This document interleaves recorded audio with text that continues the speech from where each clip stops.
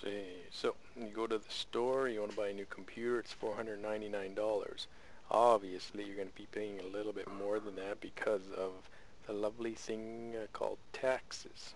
In Saskatchewan we have to pay not only a 5% uh, GST, but also we have a Saskatchewan, a provincial sales tax, uh, which is also 5%. So that $499 computer is going to end up being a little bit more. So let's figure out how much more uh, or what's the actual price we're going to pay. So the first thing we have to do once again is we have a percentage that we have to figure out uh, and turning it into a decimal in order to make our math a little bit simpler. So if you remember from uh, the previous example, 5% uh, okay, is actually the same as 5 over 100 or 5 out of 100 which is the same as 0.05. Okay, because just a little uh, little hint again.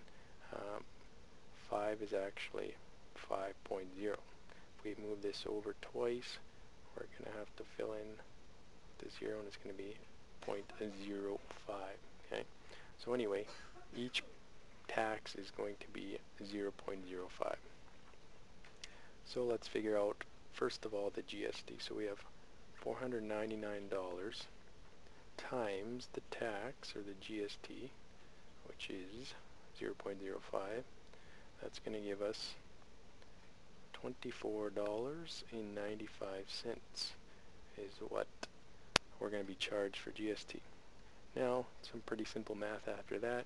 PST is obviously the same as GST.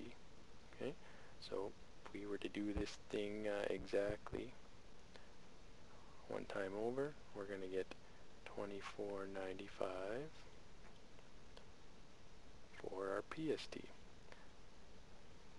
So now we figured out both taxes, now we just simply add it to the advertised price. $499 for the computer plus $24.95 for GST plus $24.95 for PST and that's going to give us $548.90. So this is the price that you're actually going to pay when you go up to the till. Okay?